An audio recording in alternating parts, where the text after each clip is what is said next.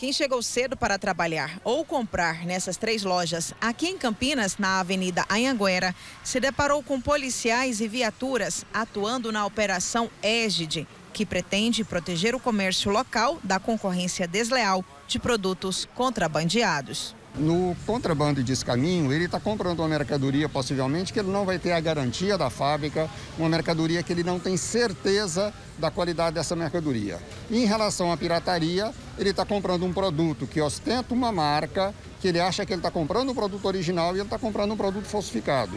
O Brasil é signatário de acordos internacionais que protegem as marcas e se nós quisermos também que as nossas marcas brasileiras sejam protegidas, a gente tem que cumprir esse acordo.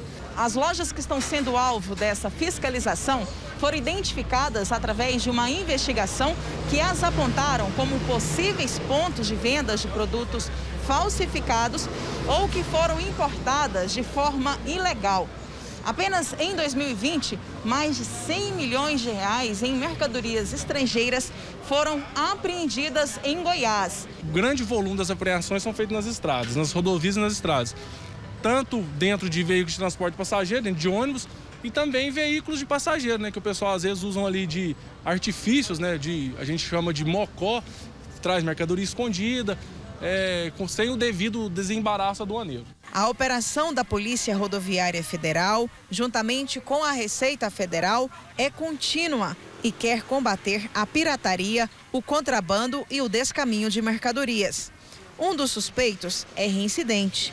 Todos os comerciantes que receberam uma fiscalização vão ser intimados para conferir as mercadorias na Receita Federal. Essas mercadorias vão ser levadas para a Receita Federal, vão ser contabilizadas na presença do representante das empresas e após isso será lavrado o auto de infração daquilo que estiver irregular.